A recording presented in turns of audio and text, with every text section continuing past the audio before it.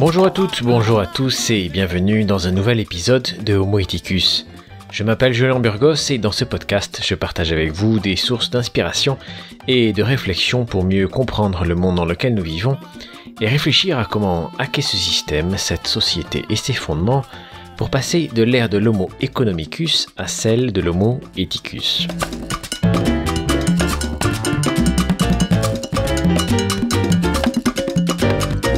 Et pour ne rater aucun épisode, vous pouvez suivre le podcast sur la plateforme Imago, la plateforme média de la transition, ou sur votre application préférée.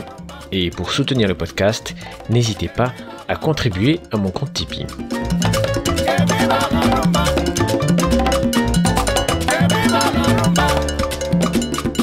Dans l'épisode précédent, j'avais présenté une brève synthèse de la théorie du municipalisme libertaire de Murray Bookchin et que l'on pourrait résumer en trois points.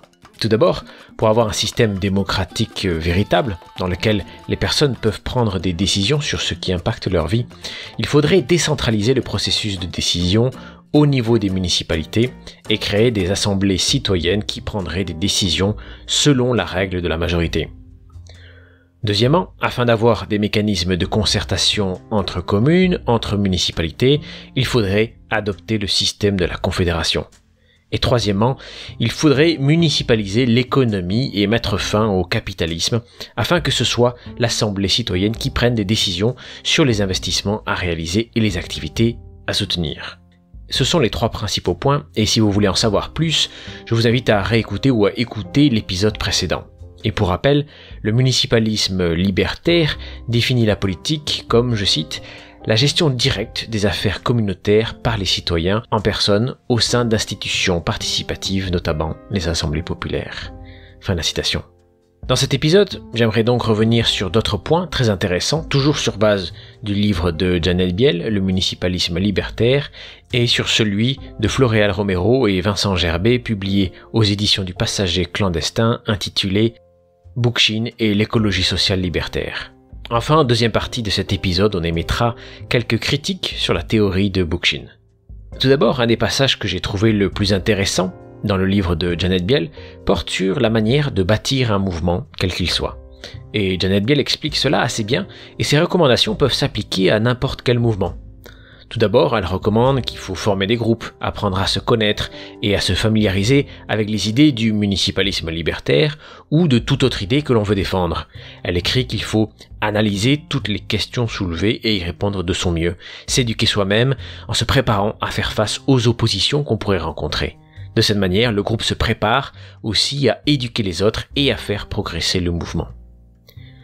Bien sûr, il ne faut pas lire uniquement Bookchin ou le municipalisme libertaire, mais il faut développer ses connaissances sur les traditions démocratiques particulières, sur l'histoire des mouvements radicaux, sur les théories démocratiques et politiques en général, et je dirais, j'ajouterais même sur l'écologie de manière générale, et même sur l'anthropologie pour mieux comprendre l'histoire des peuples et les fonctionnements des différentes sociétés. Puis, il faudrait se lancer dans l'éducation populaire, informer et intéresser d'autres personnes, et pour cela produire des articles, de la documentation pour expliquer la position du groupe sur les différents problèmes qui affectent la communauté. Pour ma part, avec ce podcast, j'essaie de faire modestement un peu œuvre d'éducation populaire. Puis, ceux qui ont des talents artistiques peuvent préparer des affiches, des tracts pour attirer l'attention sur des questions particulières et sensibiliser la communauté, ou à notre époque, euh, des réseaux sociaux, on pourrait faire des peut diffuser sur Facebook et autres. Et pour défendre les idées du municipalisme libertaire, Janet Biel encourage à promouvoir l'appel à la démocratie directe, à la création d'assemblées de citoyens au sein de la municipalité pour mettre déjà les mains dans le cambouis d'une certaine manière et pour créer des assemblées. Elle encourage à organiser des conférences dans des endroits publics, à inviter des personnes à partager les idées, et pour cela elle souligne l'importance du contact personnel, de créer des réseaux et de la confiance en ayant des relations face à face, et pas uniquement via des réseaux virtuels. Dans la logique de Bookchin et de Biel, la prochaine étape est de participer aux élections municipales afin de pouvoir modifier les règles de la cité et créer des assemblées de citoyens. Par contre, elle dit bien, et Bookchin aussi, l'idée n'est pas de prendre le pouvoir de la ville pour maintenir les structures en place. Elle écrit, je cite, Il faut qu'il soit bien clair pour les membres du groupe que le municipalisme libertaire n'est pas une tentative de bâtir un gouvernement local plus progressiste ou plus soucieux de l'environnement en élisant au conseil municipal des candidats éclairés. Une pareille tendance réformiste annulerait l'effort du mouvement pour créer et élargir les assemblées de citoyens, ainsi que son but plus large de transformer la société. Fin de la citation. Et elle poursuit, il doit constamment se rappeler que son but n'est pas de grossir l'élite du gouvernement local. Son objectif inébranlable doit être de créer le champ politique qui offre le plus haut degré de démocratie directe. Pour ce faire, le mouvement doit éduquer la population et refuser de se laisser apprivoiser par l'État. Fin de la citation. Tout ce passage est très intéressant. Cependant, il faut noter que dans son livre, elle ne parle pas de la nécessaire lutte contre les projets d'infrastructure qui détruisent les écosystèmes. Elle et Bookchin parlent peu des mouvements de résistance qui doivent aussi se développer pour lutter activement. Sur le rayon des critiques, venons-en à une des principales qui porte sur la technologie. Et à mon sens, c'est un des principaux angles morts de Bookchin, la question de la technologie. Pour lui, il est nécessaire de garder les technologies, les machines, car cela permet de libérer la population des tâches les plus difficiles pour qu'elle puisse se consacrer au débat citoyen. Et après tout, ça a l'air logique. Dans son livre, Janet Biel écrit Le municipalisme libertaire ne propose pas non plus d'éliminer la majeure partie des technologies de production que nous connaissons. En fait, il s'oppose au mythe mystico-écologique populaire qui veut que la technologie soit la cause de la crise écologique. La plupart des technologies sont neutres, le nucléaire sous toutes ses formes étant l'évidente exception. Ce n'est pas la technologie qui cause la destruction écologique, mais l'organisation sociale, surtout le capitalisme qui l'utilise à ses propres fins destructrices. On peut utiliser la majorité des technologies à des fins qui sont soit nobles, soit ignobles. Elles ne font qu'amplifier les effets des rapports sociaux là où elles sont employées. Fin de la citation. Et Bookchin insiste là-dessus dans un de ses textes intitulé Vers une technologie libératrice, il écrit Pourquoi ne pas utiliser des machines automatisées et cybernétisées, de telle façon qu'elles assument l'extraction, la préparation et le transport des matières premières, puis le dégrossissage des produits, et laissent aux membres de la communauté les derniers stades de la fabrication impliquant habileté manuelle et sens artistique? Et plus loin, il écrit l'écologie sociale reconnaît que l'énorme expansion des forces productives des temps modernes a rendu caduque le problème de la rareté matérielle. De nos jours, la technologie est suffisamment développée pour permettre une immense extension du temps libre grâce à l'automatisation de tâches autrefois exécutées par l'humain. Du point de vue de la production, les moyens d'éliminer le travail pénible et fastidieux, de vivre rationnellement et écologiquement dans un but social plutôt que strictement privé, sont en principe accessibles à tous les peuples de la Terre. Fin de la citation.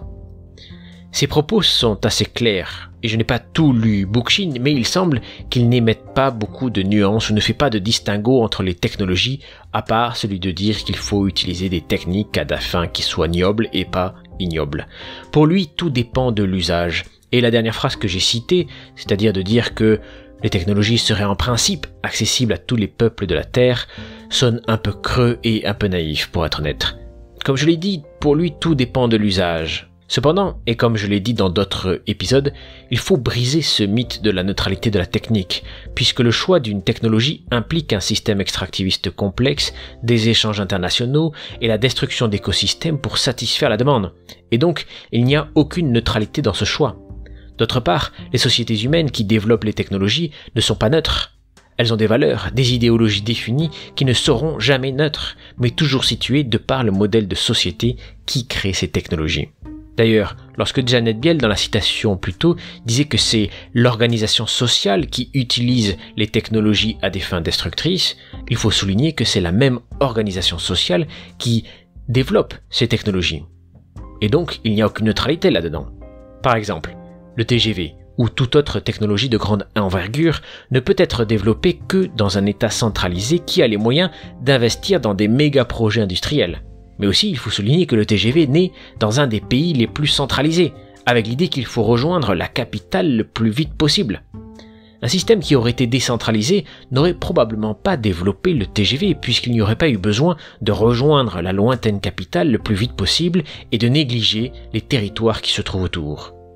Ainsi, il faut être plus critique envers les techniques et surtout sur l'extractivisme et les impacts écologiques et sociaux que cela implique. Je vous invite à écouter mes épisodes sur le livre Extractivisme et sur le documentaire Minga qui traite de ces questions.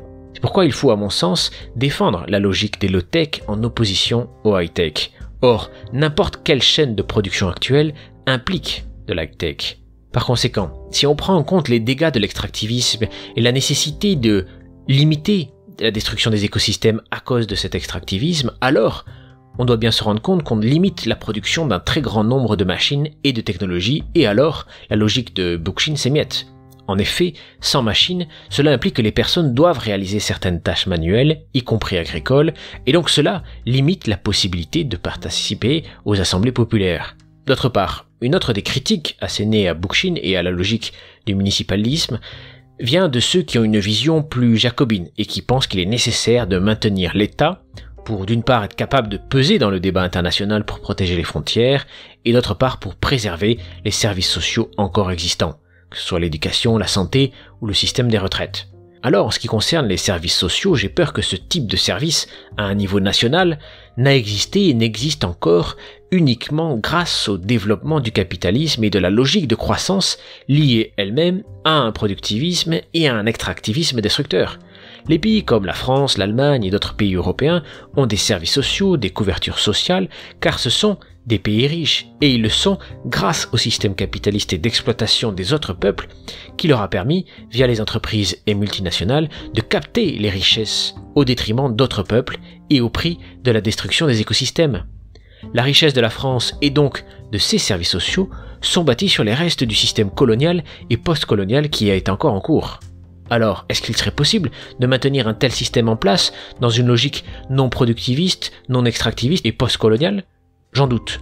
Par contre, cela ne veut pas dire qu'il faille tirer un trait sur cela, mais plutôt qu'il est nécessaire de les repenser dans une logique et dans un système qui accorde moins d'importance au productivisme et à la consommation de produits le plus souvent inutiles, et accorder beaucoup plus de valeur à des activités essentielles telles que l'éducation, la santé, la gestion de déchets et autres, activités dont l'importance fut flagrante pendant le confinement. Donc, pour revenir sur l'argument, oui, il faudra probablement tirer un trait sur les systèmes centralisés tels qu'ils existent et penser d'autres approches de société, et notamment valoriser des approches beaucoup plus locales et par exemple des approches telles que la non-scolarisation que Macron souhaite interdire, illustrant encore une fois qu'un système centralisateur pourra toujours limiter la liberté. Autre point intéressant, Bookchin, comme je l'expliquais dans le précédent épisode, est contre l'idée d'autonomie, mais pour l'interdépendance entre les communes, ce qui implique un système d'échange plus ou moins complexe. Il explique aussi qu'il y a des points communs avec l'idée du biorégionalisme, mais aussi des différences importantes. Je parlerai du biorégionalisme dans un autre épisode, sur base du livre de Kirkpatrick Sale, L'art d'habiter le vivant, que j'ai trouvé très intéressant. Mais très brièvement pour cet épisode, le biorégionalisme, c'est l'idée qu'il faut penser les sociétés humaines à travers les biorégions, que sont par exemple les bassins versants. Janet Biel, dans son livre, écrit Ce biorégionalisme a certains points en commun avec le municipalisme libertaire, particulièrement son refus de l'économie concurrentielle, de la réduction de toute chose au statut de marchandise et de la création de besoins artificiels comme son désir de reconstruire la société sur des bases plus écologiques. Le biorégionalisme et le municipalisme libertaire accordent tous deux énormément d'importance au renforcement du pouvoir des localités, revendiquant l'un comme l'autre la décentralisation de la société mais plusieurs de ces ressemblances sont superficielles.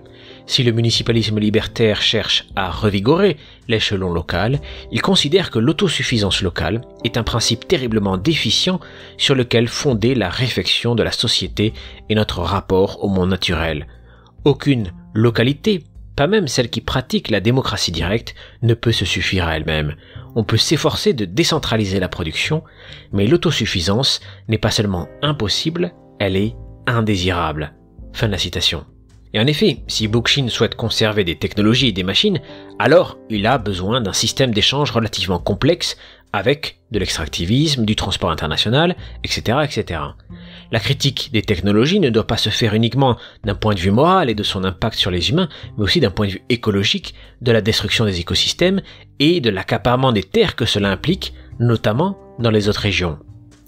Prenons l'exemple des peuples de Bornéo ou toute autre communauté habitant près d'un site minier, comme par exemple les Sahraouis dont les terres sont occupées par le Maroc pour exploiter les mines de phosphate si nécessaire à la production d'engrais. Et imaginons qu'ils aient le pouvoir de décider sur leurs ressources, comme s'ils étaient dans un système de municipalisme libertaire. Oui, je sais, c'est difficile à imaginer, mais bon, et si en pouvoir, c'est la logique de Bookchin tient la route. Ces peuples ne voudraient probablement pas détruire leur écosystème qui les fait vivre, et donc l'extractivisme diminuerait. Il y aurait moins de matériaux, moins de machines pour faire fonctionner les municipalités de Bookchin. Et de la même manière, cela implique que les régions doivent tenter d'être le plus autonomes possible pour dépendre le moins possible des autres régions qui elles-mêmes auront leur propre logique. Ainsi, il me semble que la théorie de Bookchin pêche par cette absence de critique des techniques et par son rejet d'une certaine forme d'autonomie. Bien entendu, cela ne veut pas dire qu'il faut viser à l'autonomie parfaite et absolue, mais au moins à la plus d'autonomie possible. Le biorégionalisme, par contre, pense qu'il est nécessaire d'avoir une forme d'autosuffisance au sein des biorégions et pas uniquement au niveau municipal qui est beaucoup trop restreint. Et cette approche biorégionale me semble intéressante et donc j'espère la creuser dans les épisodes à venir. Une autre critique porte sur l'aspect bien trop théorique et utopiste des idées de Bookchin. Il faut bien avouer que, certes, l'idée est attirante, mais comment passer des sociétés actuelles, avec des États-nations encore très puissants et très sécuritaires, Comment passer de cela au communalisme, tout en sachant que la grande majorité de la population est contre ce point de vue libertaire? Et d'ailleurs, toute tentative de vivre différemment est systématiquement attaquée, interdite. Je reprends un des commentaires que j'ai reçus sur mon épisode précédent et qui mentionnait une idée de Kaczynski dans le livre Antitech Révolution, livre que je n'ai pas lu donc je reprends le commentaire tel quel. Il disait que le mouvement des sociétés étant incontrôlable, tout projet détaillé pour le futur n'est que vaine parole. Et en effet, qui aurait prédit le confinement, la Covid, Trump et autres désastres récents? Néanmoins, malgré ces incertitudes, je pense qu'il est tout de même nécessaire de montrer vers quel type de société nous pouvons tendre afin de proposer des pistes de solutions et de fédérer autour d'un idéal commun, que ce soit le municipalisme ou le biorégionalisme.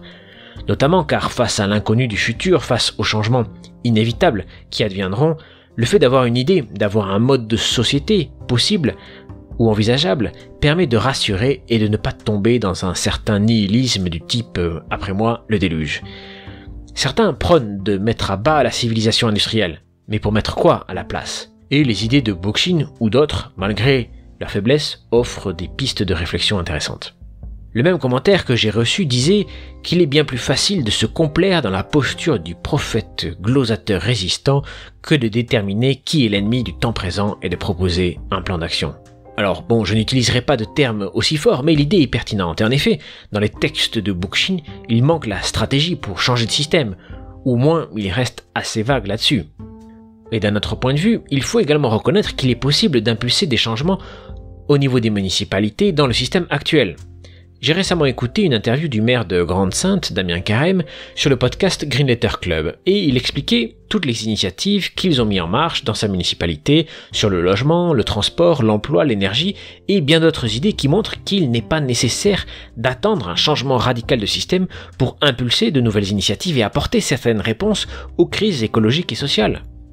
Certes, et j'entends déjà des personnes qui jugeront peut-être cela comme des illusions et pourraient qualifier Damien Carême euh, d'éco-tartuffe ou encore l'accuser de maintenir un système destructeur en place par trop de complaisance et par des accommodements qui font croire qu'il est possible d'initier un changement de l'intérieur. C'est le problème du réformisme. Et après tout, dans une autre interview, Damien Carême a reconnu qu'il ne voulait pas plus de décentralisation, mais au contraire, un État fort capable de prendre des décisions pour imposer des changements. Alors je m'interroge, faut-il espérer un changement radical pour mettre fin à la logique productiviste extractiviste Ou alors tenter tout ce qu'il est possible de tenter dans le système actuel?